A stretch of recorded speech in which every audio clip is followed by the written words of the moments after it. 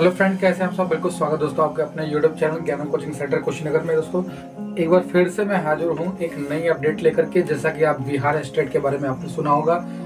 एक नया सवाल खड़, खड़ा हो चुका है कि बिहार स्टेट का जो है वेब कॉपी तो आ चुकी है चूँकि लेकिन सर्टिफिकेट कैसे मिलेगा? तो बिल्कुल दोस्तों मैं बता दूँ बिहार स्टेट का जो सर्टिफिकेट है वहाँ आपको कैसे मिलेगा कहाँ मिलेगा उसकी सारी डिटेल मैं आपको इस वीडियो में बताऊँगा दोस्तों। अगर आप हमारे दोस्तों, अगर हमारे वीडियो में आप नए नए हैं तो वीडियो को दोस्तों लाइक कर लें सब्सक्राइब कर लें बेल आइकन को प्रेस कर दें, क्योंकि आपको नई से नई और जो अपडेट न्यूज़ है, आपको इस वीडियो हमारे इस चैनल पर मिलती रहेंगी। और बिहार स्टेट से रिलेटेड या यूपीएससी एग्जामिनेशन से रिलेटेड हर एक तरह की कोई कोई इन्फॉर्मेशन आपको मिलती रहेगी दोस्तों। ज़्यादा समय वेस्ट ना करते हुए आइए चलते हैं बताता हूँ कि अगर आप बिहार की कैंडिडेट हैं, अगर आपने मान लीजिए बिहार स्टेट का एग्ज़ाम क्वालिफाई किया हुआ है ठीक है? अगर आपने बिहार के ही कैंडिडेट हैं तो आपको जो आपका सर्टिफिकेट मिलेगा, आप बिहार से ही जो डीईओ से ऑफ़िस है, आप दोस्तों बिल्कुल आप देख सकते हैं। मैंने यहाँ पे लिखा भी हुआ है डीईओ ऑफ़िस जो है बिहार का, आप वहाँ पर जाकर के अपना सर्टिफिकेट प्राप्त कर सकते हैं। लेकिन एक नया नियम बदला कि क्या ये ऑनलाइन कॉपी ही वैलिड रहेगी? तो वो भी उसका भी जवाब मैं वीडियो के अंत तक दूँगा, वीडियो में लास्ट तक बने रहेंगे कि क्या वेब कॉपी चल सकती है या नहीं चल सकती है। तो मैं बताना चाहूँगा।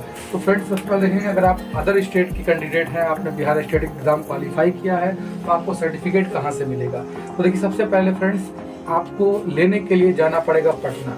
और पटना सबसे पहले मैं बता दूँ कि सबसे पहले आपको स्टेशन पटना को उतरना होगा। उसके बाद जो है आपको राजेंद्र नगर पटना ऑफ़िस के जाने के लिए राजेंद्र नगर का लोकेशन लेना होगा।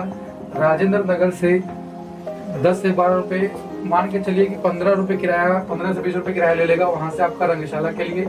रंगशाला से आपको जाना है एनसीसी ऑफ़िस रंगशाला जाएँगे तो रंगशाला के पास में ही जो है एनसीसी ऑफ़िस है। एनसीसी ऑफ़िस के बगल में ही ये जो है आपका पटना ऑफ़िस है बिहार स्टेट का, जहाँ पे आपको सर्टिफिकेट मिल जाएगा। तो फ्रेंड्स आप एक सवाल मन में उठ रहा होगा कि भैया, अगर सर्टिफिकेट लेने जाना तो कैसे जाएँगे?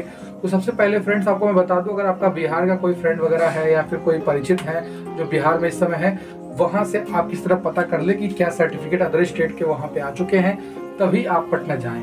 अन्यथा पटना जाकर व्यर्थ में आपका टाइम पास होगा और जाएँगे फिर वापस खाली हाथ लौट आएँगे फ्रेंड्स तो मैं बता दूँगा, ये चीज़ें कर पाएँगे। लेकिन हाँ एक सवाल ज़रूर आपका रहा कि क्या ये सर्टिफिकेट हम वेब कॉपी से काम चल सकता है या नहीं?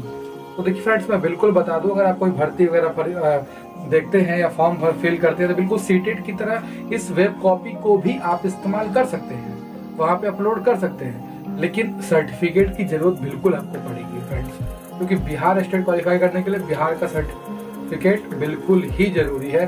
तो फ्रेंड्स आप जल्द से जल्द सर्टिफिकेट को प्राप्त करने की कोशिश करेंगे। ओके फ्रेंड्स फिर मिलते हैं नेक्स्ट वीडियो में एक नई अपडेट के साथ। Thank you so much